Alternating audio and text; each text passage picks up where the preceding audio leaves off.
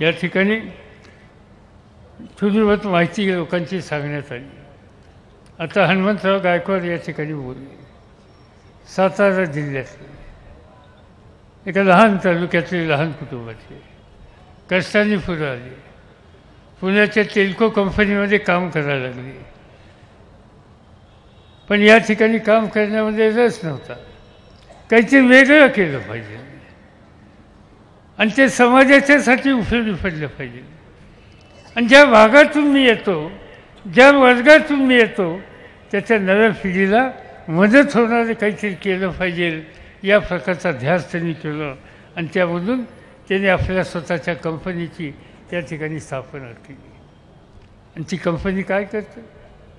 त्या कंपनीची सुरुवात झाली स्वच्छता साफसफाई. आणि त्यासंबंधीचे कॉन्ट्रॅक्ट ते घ्यायला लागले. ते अनेक ठिकाणी त्यांना सुदैवानाची संधी मिळाली.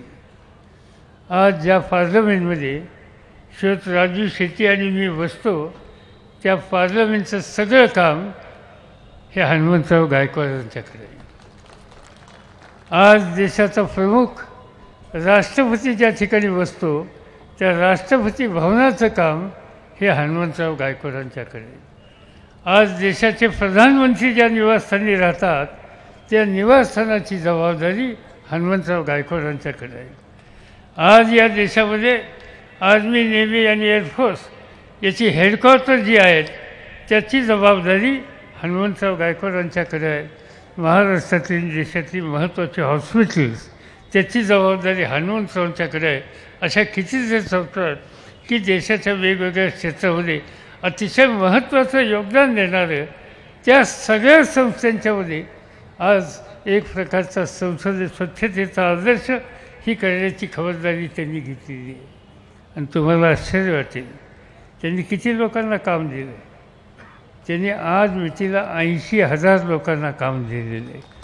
आज या देशामध्ये सामान्य कुटुंबातला खेड्यात जन्मलेला आणि प्रतिकूल परिस्थितीवर मात करून आपल्याला रोजगार मिळवण्याच्यासाठी खस्ता खावा लागल्या.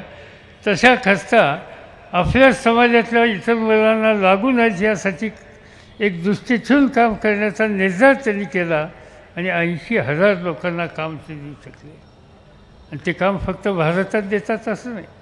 भारताच्या बाहेरसुद्धा काही देशामध्ये ते आज काम द्यायला लागले. आणि म्हणून हे काम महत्त्वाचं त्यांनी केलं.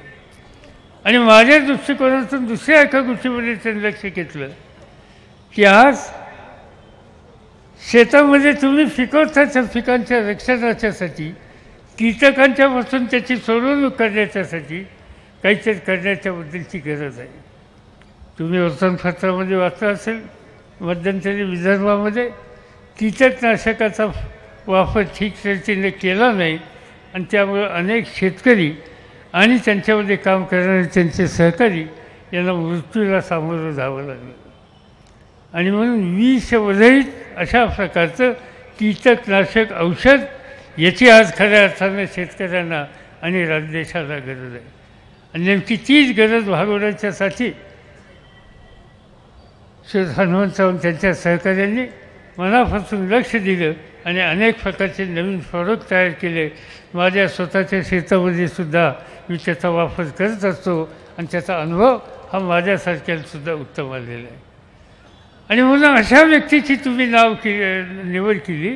मला असं वाटतं की सदाशिवरावांच्या स्मृतीचं स्मरण करण्याच्यासाठी ज्या प्रकारच्या ज्या कर्तृत्वाच्या ज्या दृष्टीच्या लोकांची निवड ही करण्याची आवड होती त्याच्यामध्ये हनुमंतरावांची निवड ही अचूक अशा प्रकारची निवड ही असं म्हणलं तर अतिशयोक्ती या ठिकाणी होणार नाही.